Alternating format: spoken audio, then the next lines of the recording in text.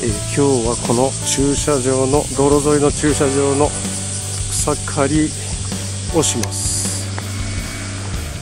跳ね飛び防止のネットを設置しています。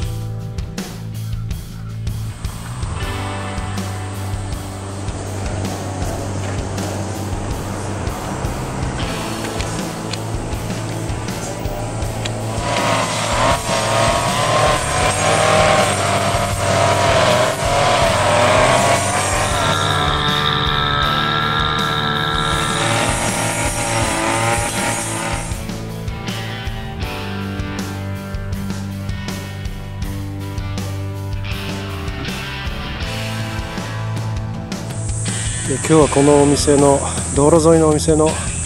駐車場の草刈りをやりました。それと基本駐車場は砂利なのでそこにはびこった草はなかなか全てを刈り取ることはできませんでしたが朝の状況よりも